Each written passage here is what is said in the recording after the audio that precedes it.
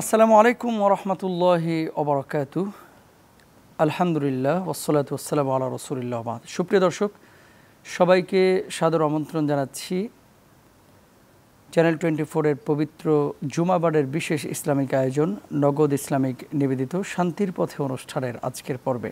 দর্শক, আমরা প্রতি সপ্তাহে কোরআন এবং সন্ন্যাহের আলোকে একটি বিষয় নিয়ে কথা বলি। আজকেও আমরা কথা বলব ইনশা আল্লাহ তালা প্রথমেই পরিচয় করিয়ে দিচ্ছি আজকে যে দুজন বিজ্ঞ আলেমে দিন আমাদের সঙ্গে রয়েছেন আপনাদের আলোচনা শোনাবেন ইনশাল্লাহ কোরআন এবং সন্ন্যাহের আলোকে। প্রথমে রয়েছেন উম্মুল কোরা বিশ্ববিদ্যালয়ের সম্মানিত গবেষক যিনি মক্কাতুল মোকারমা সৌদি আরব থেকে এসেছেন আমাদের বাংলাদেশের গর্ব মোহতারাম শেখ সালাহ উদ্দিন মাক্কি।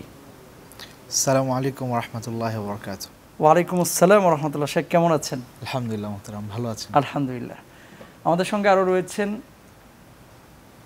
খ্যাতিমান মুফাসির কোরআন হাফিজে কোরআন ডক্টর জাকারিয়া নূর খতিব বাইতুন্নুর জামা মসজিদ পল্টন ঢাকা।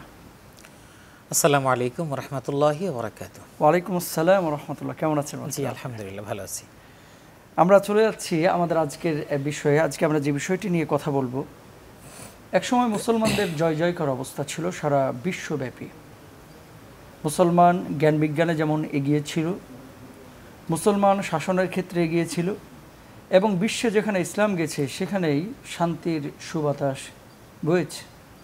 আজকে মুসলমানরা নিজেদের কিছু ত্রুটির কারণে গোটা বিশ্বব্যাপী অধপতনের মুখোমুখি। কোথাও আমরা হারিয়েছি আমাদের রাজত্ব, কোথাও হারিয়েছি আমাদের ক্ষমতা, কোথায় হারিয়েছি আমাদের জ্ঞান বিজ্ঞান। এ সমস্ত বিষয়গুলো, অর্থাৎ আমাদের অধপতনের কারণগুলো কি, এ বিষয়ে কথা বলব। খুব গুরুত্বপূর্ণ একটি বিষয়। অনেক মানুষ দেখবেন এই কথা বলে যে তোমরা ঘড়ি আবিষ্কার করলে, চিকিৎসা বিজ্ঞানে অবদান রাখলে, তোমরা আকাশ বিজ্ঞানে অবদান রাখলে, জীব বিজ্ঞানে অবদান রাখলে, এখনকার সেই অবদান গেল কোথায়? এখন কেন হচ্ছে না এগুলো? তো প্রিয় দর্শক, আজকে আমরা বিষয়টি নিয়ে, এই জটিল বিষয়টা নিয়ে কথা বলার জন্য স্কলারদের আমন্ত্রণ জানিয়েছি। প্রথমে আমি চলে যাচ্ছি। মোহতারাম খলিফাতুল মুসলিমের অমর আদি আল্লাহ তালানহ অর্ধ জাহান বা তার চেয়েতেও বেশি শাসন করলেন। সেই বিশ্ব, সেই পৃথিবী আজকে নেই। মুসলমানদের হাতছাড়া হয়ে গেছে। অথচ সম্পদ আছে। অধপতনের পেছনে কারণ যেগুলো রয়েছে, উল্লেখযোগ্য কিছু কারণ যদি আমাদেরকে বলেন। আলহামদুলিল্লাহ ওসলাত ওসালাম আল্লাহ রসুলিল্লাহ আবাদ সুপ্রিয় দর্শক, শ্রোতা যারা আজকে আমাদের দেখছেন জি মোহতারাম, আসলে কারণ তো অনেক বেশি।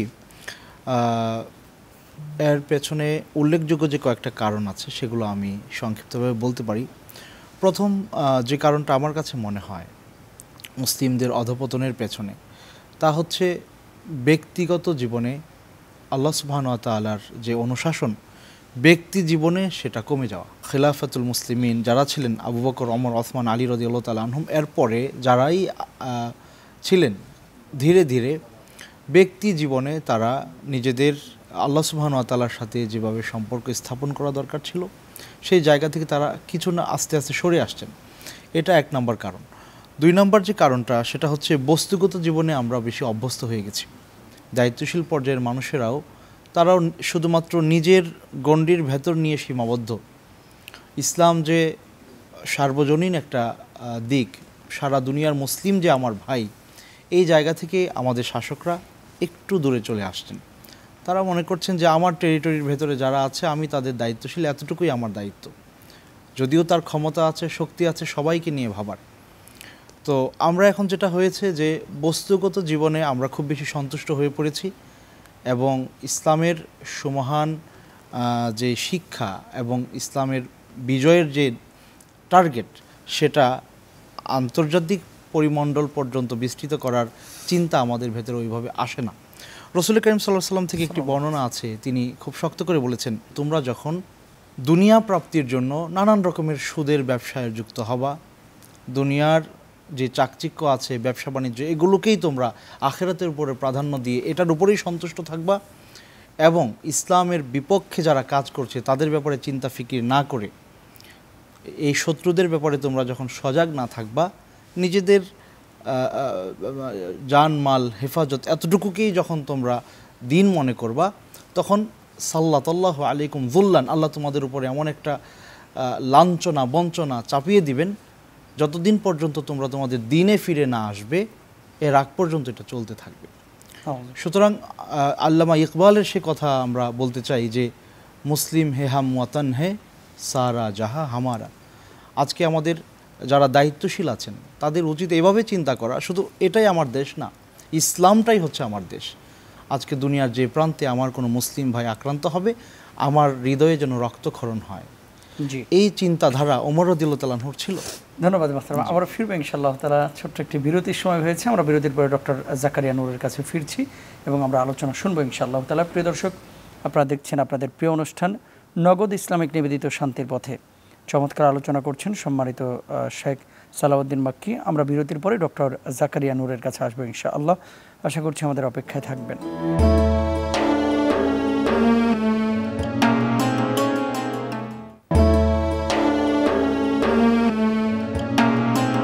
আলহামদুলিল্লাহ, বিরতির পরে আবারও সবাইকে সাদর আমন্ত্রণ জানাচ্ছি। প্রিয় দর্শক, আপনারা দেখছেন আপনাদের প্রিয় অনুষ্ঠান, নগদ ইসলামিক নিবেদিত শান্তির পথে।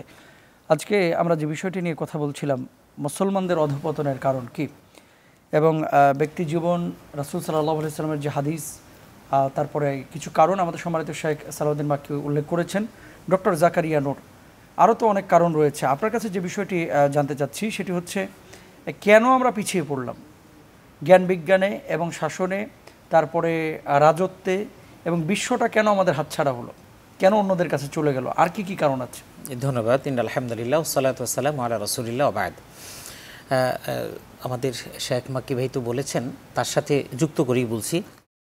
যে কারণ তো অনেক, তার মধ্যে উল্লেখযোগ্য বিষয় হলো যে রসুল করিম সাল্লাহ আলি সাল্লাম বিদায় হজের ভাষণে আমাদের জন্য দুটি বিষয় দিয়ে গেছেন, একটা হলো কোরআন এবং সুন্না তো মৌলিকভাবে কোরআনটা তো আমাদের জন্য দরকার। সামগ্রিকভাবে এখন আমরা আমাদের এই সাবকন্টিনেন্ট এবং এর বাইরেও যদি আমরা চিন্তা করি, কোরআন এখন আর এটা সংবিধান নাই। কোরআন এখন হলো তেলাওয়াতের একটা কিতাব এবং এটা হলো কোরআনটা হলো একটা ফজিলত বা সোয়াবের একটা মাধ্যম। এটা হলো কোরআনটার অবস্থাটা। তো এটা তো শুধু বাংলাদেশ না এটা সারা ওয়ার্ল্ড ওয়াইড কোরআন হাফেজ কোরআনদেরকে আমরা সম্মানিত করছি। কিন্তু এই হাফিজে কোরআনের সম্মানিত করার তো আলহামদুলিল্লাহ। কিন্তু এই কোরআনটাকে নিয়ে যারা কথা বলছে কোরআনের সমাজ ব্যবস্থা নিয়ে যারা কথা বলছে তারা প্রতিটা দেশে কিন্তু লাঞ্ছিত হচ্ছে। তাহলে বোঝা গেল এটা একটা অন্যতম কারণ কোরআন থেকে আমরা দূরে সরে গেছি। রসুল সাল্লাহ আলি সাল্লামের একটা হাদিস যে যে বিখ্যাত হাদিস সেখানে দুইটা বক্তব্য একটা হলো যে লাইয়াবকা মিনাল ইসলামী ইল্লা ইসমো ও লাইয়াবকা মিনাল কোরআন ইল্লা রাসমো। যে ইসলামটা বাকি থাকবে শেষ জামানায় সেটা হলো শুধু নামে। এখন কিন্তু মুসলমানের অভাব নাই সব নামে। জুমার দিনে কিন্তু আজকে জুমাবার জুমার মসজিদ কিন্তু কানায় কানায় পরিপূর্ণ হয়ে যাবে। কিন্তু আজকে জুমার পর আসর নামাজে কিন্তু মুসল্লি খরায় ভুগবে মসজিদগুলো। আচ্ছা নামাজ আমরা পড়ছি নামাজ থেকে বের হওয়ার পরে আমরা আমাদের ব্যবসা বাণিজ্যে যাচ্ছি নামাজের শিক্ষাটাকে আমরা নিয়ে যাচ্ছি এরকম অনেক কথা আছে। সুতরাং আমাদের ইসলামটা এখন নামে। আমরা বিয়ে শাদী বিয়ে শাদী যেটাই করছি আমরা আমরা অনেকেই আবেগতাড়িত হয়ে আমরা মসজিদে বিয়ে করছি। এই জন্য যে মসজিদে বিয়ে করা সুন্না কিন্তু মসজিদে বিয়ে করার পরে এরপর অন্যান্য অনুষ্ঠানগুলো সেখানে ডিজে পার্টি দিয়েই করছি। তাহলে আমরা আসলে ইসলাম বুঝতে পারিনি। তাহলে এরকম প্রতিটা ক্ষেত্রেই কিন্তু ইসলাম আমরা নামে বুঝলাম। জন্মের পর একটা সুন্দর একটা নাম রাখলাম হুজুরের কাছ থেকে। হুজুর একটা নাম দিয়ে দিলেন খুব সুন্দর অর্থবহ বলল যে খুবই সুন্দর। কিন্তু ওই নামটুকু নিয়ে পকেটে করে তারপরে ডিপ ফ্রিজে রেখে দিলেন এরপর ওনারা আলাদা একটা নাম দিলেন। তাহলে এই যে এগুলি নামের মধ্যে আছে। ওয়ালাই আবকামিন আল কোরআন ইল্লা রাসমু। এখন রুসুম রাওয়াজের মধ্যে কোরআন সীমাবদ্ধ। বাপ মল্লে কোরআন মায়া মল্লে কোরআন অথবা বিয়ে শাদির দিন হুজুরে আইসা দরুদ সালাম পড়বে দোয়া মনোজাত করবে দাম্পত্য জীবন যেন সুখে ভরপুর হয়ে যায়। এবার শেষ। কিন্তু দাম্পত্য জীবন সুখী হওয়ার জন্য যে দুইজনের নামাজে সেজদারত হতে হবে ইসলামটাকে আমাকে মানে পার্সোনালি আমাকে পালন করতে হবে এটা নাই। তো এটা হলো সংক্ষিপ্ত এটা। আরেকটা বিষয় যেটা সালাউদ্দিন মকিব একটা হাদিস উল্লেখ করেছেন সেখানে জিহাদ প্রসঙ্গ বিভিন্ন প্রসঙ্গ বিষয় কথা আসছে। একটা লম্বা হাদিস সেটাও আমি যেহেতু আমাদের অল্প সময় আমি অল্প একটু কোট করি।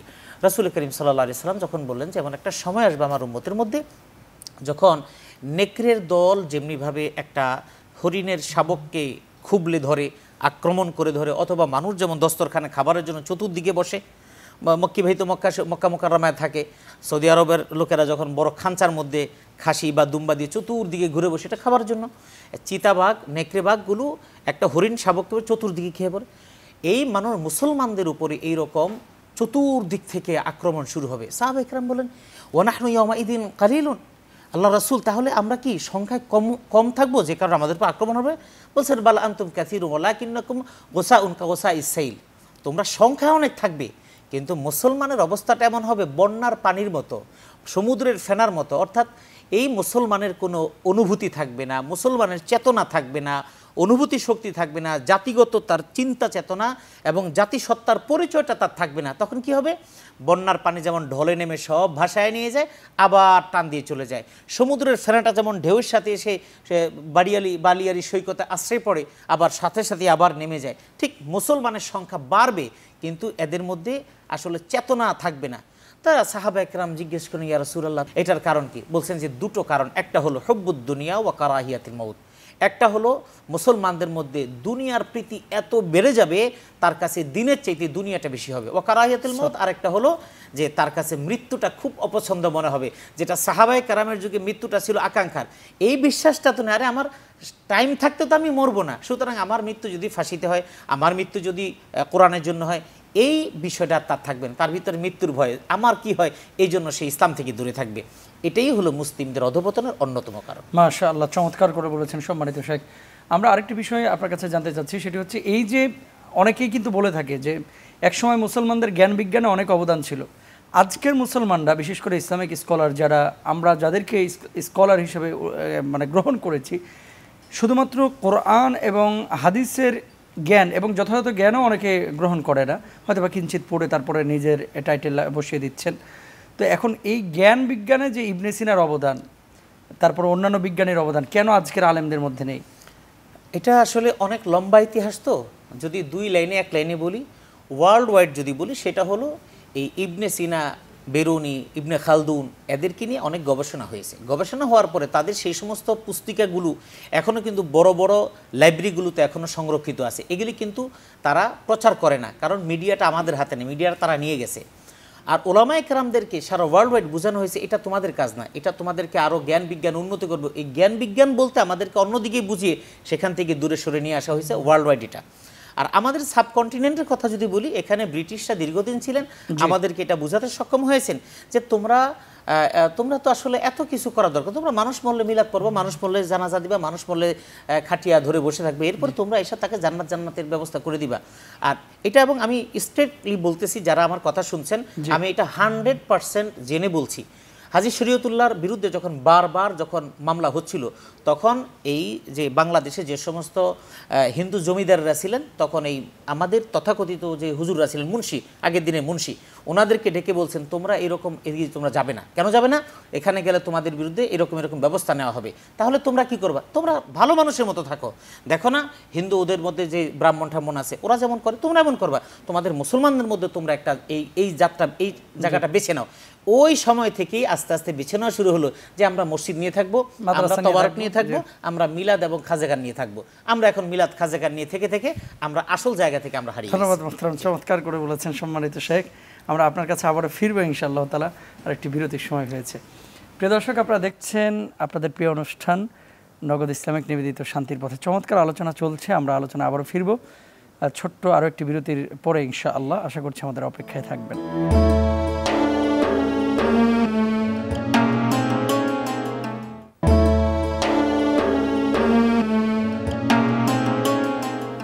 আলহামদুলিল্লাহ বিরতির পরে আবারও সবাইকে সাদর আমন্ত্রণ জানাচ্ছি। প্রিয় দর্শক আপনারা দেখছেন আপনাদের প্রিয় অনুষ্ঠান নগদ ইসলামিক নিবেদিত শান্তির পথে। আমরা চলে যাচ্ছি আমাদের শাহেক দয়ের কাছে সালাউদ্দিন বাক্কি আপনি আরব বিশ্বে দীর্ঘদিন সময় অতিবাহিত করছেন আমরা জানি বছরের পরে বছর আপনি আরবে কাটাচ্ছেন। অনেকেই বলেন যে আমরা দিন প্রতিষ্ঠিত করতে পারতেছি না বা প্রতিষ্ঠা করতে পারতেছি না আমাদের টাকা নাই ফুলুস নাই। তা আরব বিশ্বের তো ফুলুসের অভাব নাই। তো যাদের ফুলুস আছে বা টাকা পয়সা আছে তারা কেন প্রতিষ্ঠা করছে না? বা তাদের যে গণ্ডি, সেই গণ্ডিতে কেন তারা পারছে না? তো দিন কায়েমের জন্য আসলে টাকা খুব বেশি প্রয়োজন, নাকি আমাদের আমলের বেশি প্রয়োজন বা এখলাসের বেশি প্রয়োজন? এই বিষয়টি যদি বলতেন। জি, দেখুন, আসলে আল্লাহ সুবহানাহু ওয়া মানুষকে দুইটা জিনিসের সমন্বয়ে তৈরি করেছেন।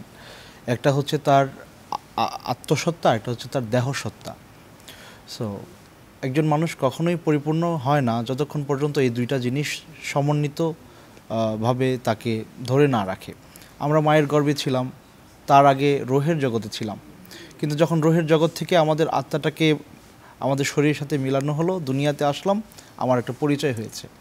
সো এই দুইটা জিনিসের সমন্বয় ছাড়া কখনো একজন মানুষ পরিপূর্ণ হয় না। অনুরূপভাবে, আপনি যদি ইসলামী খিলাফা ব্যবস্থার কথা চিন্তা করেন, কিংবা ইসলামী স্টেটের কথাও চিন্তা করেন, এই জায়গাতেও দুইটা জিনিস থাকবে। একটা হচ্ছে আধ্যাত্মিক শক্তি আর একটা হচ্ছে বাহ্যিক শক্তি।